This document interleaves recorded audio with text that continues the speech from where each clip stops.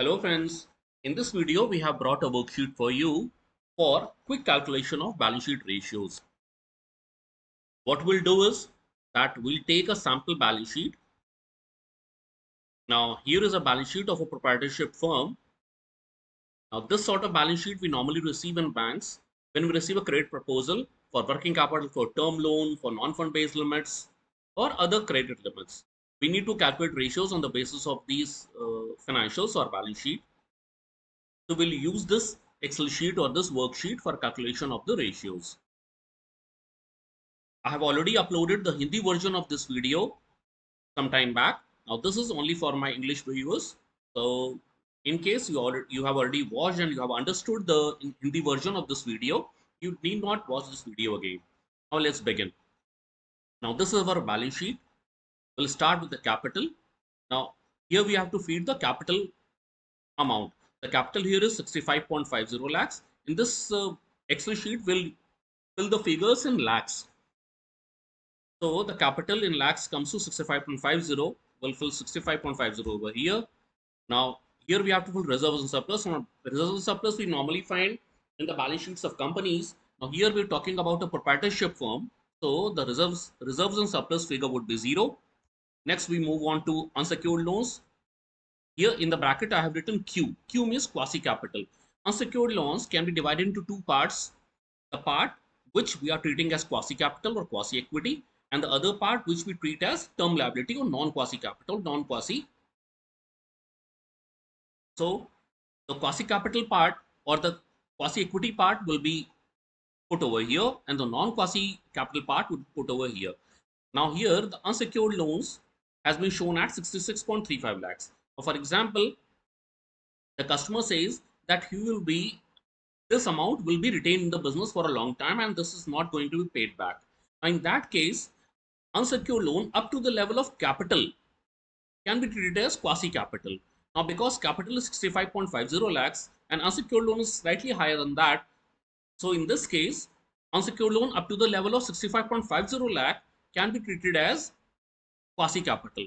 So here again in unsecured loan will feed 65.50 lakh and in the unsecured loan non-quasi portion will feed the balance amount of unsecured loan. So the balance amount of unsecured loan comes to 66.35 minus 65.50. What we can do is we can simply calculate it over here. That is 66.35 minus 65.50 lakh. So this comes to 0.85 lakh. Now here we have to the figure of term loan which is payable after 12 months. Now, as we have already discussed in our balance sheet videos previously, that the term loan amount outstanding in a balance sheet has to be divided into two parts. Now, one is the part which has to be treated as current liability, that is the principal portion of term loans payable in the next 12 months. During the next 12 months, that we have to take as current liability and that we have to fill over here. And the balance portion, which is payable after 12 months of balance sheet date, has to be put over here. Now, first we have to find out the term loan, total term loan amount in this balance sheet. Now, here we can see a car loan from ICICI Bank, which is of 12.07 lakhs. And then again, we have a tempo loan from SBI, which is 6.50 lakh. The total comes to approximately 12 12.07 lakh plus 6.50 lakh. Now, suppose we fill the entire amount over here. So, it comes to 12.07 plus 6.50 this comes to 18.57 lakh. Now out of this portion some portion would be definitely be payable in the next 12 months. Suppose that figure is 2.50 lakh.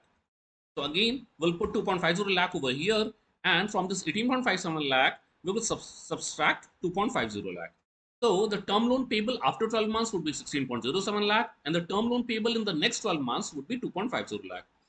Now in the next cell we have to feed the CC or figures shown in the balance sheet now here we can see the CC amount of PNB that is 110 lakhs. We'll fill it over here. Next cell we have to put the creditors figure. Creditors figure is over here 46.37 lakh. We'll fill it over here.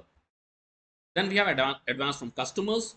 We, now this customer hasn't shown any advance from customers from the liabilities, liabilities side. So it will remain zero itself.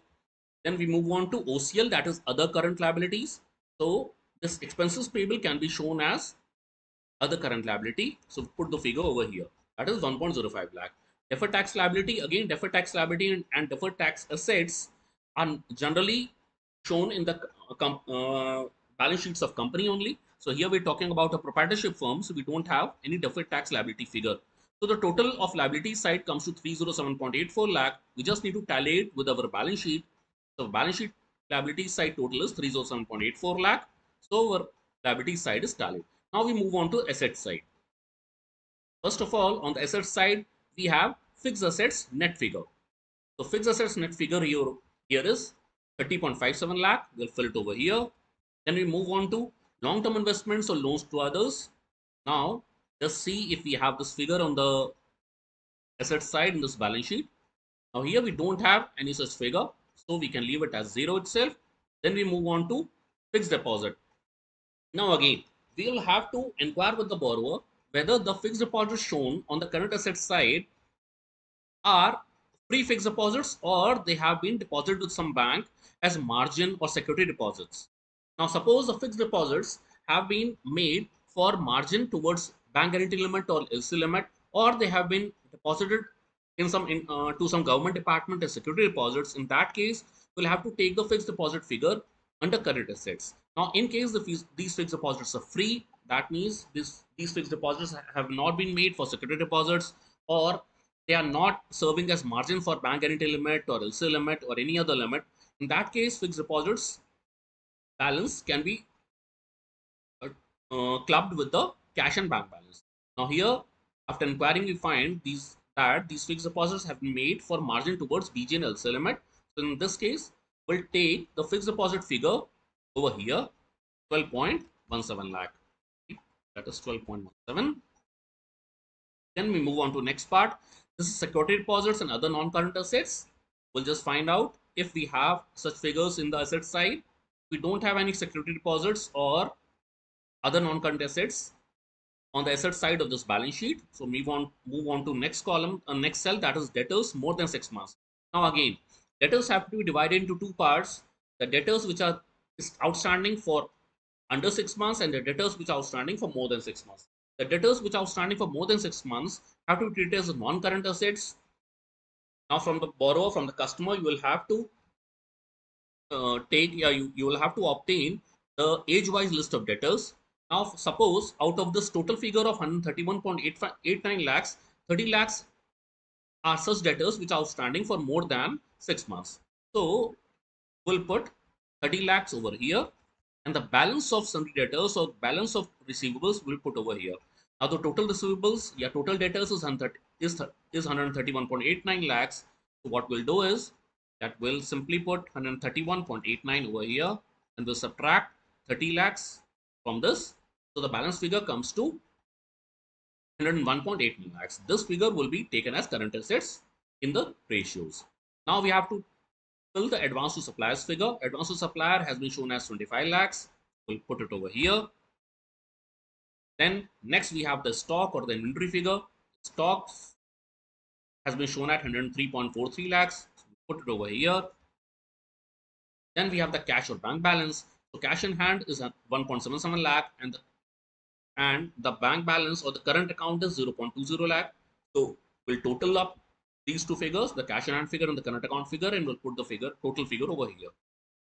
So the cash in hand is 1.77 and the bank balance is 0.20 lakh. So total comes to 1.97 lakh. Then we have other other current assets.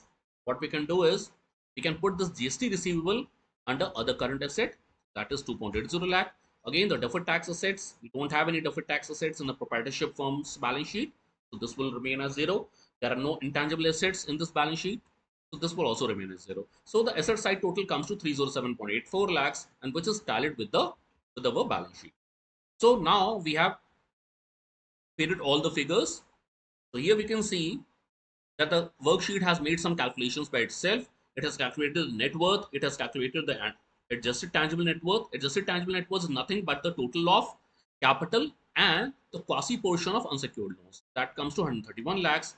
Then it has calculated the term liability, which is the non-quasi portion of unsecured loans and the term loan portion, which is payable after 12 months. So this comes to 16.92 lakhs.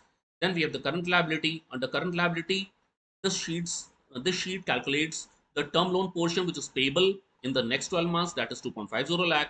Then the CC or OD figure, the creditors figure, advance from customers, other current liabilities. So all these are taken under the current liability. Now the total outside liability comes to term liability plus current liability. So this is 176.84 lakh.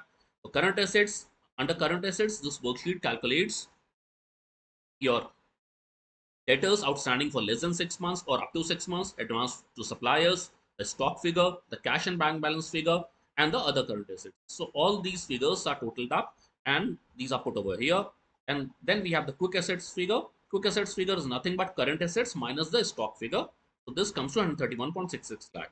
Now here we have the all the important ratios calculated by this worksheet. The current ratio comes to 1.47, quick ratio comes to 0.82, debt equity ratio comes to 0.13, TOL by TNW or leverage ratio comes to 1.35 and the net working capital margin comes to 75.18 lakh. So using this worksheet, you can cal quickly calculate the ratios and find out if the in, if the loan proposal is doable or not. You can go ahead with this sort of balance sheet or not. Now we'll just try to make some changes in this in these figures and we'll see what impact does it have on the ratios calculated by this worksheet. For example, debtors outstanding for more than six months is increased from 30 lakhs to 50 lakhs. Now, as of now, we see that the current ratio is 1.47 lakh. What we'll do is we'll just increase the debtors figure over here and reduce the debtors outstanding for up to six months by 20 lakhs. What will happen is current ratio immediately drops down to 1.35 lakh. Likewise, suppose we reduce the unsecured loan quasi figure. We reduce it by 30 lakhs, make it, sorry,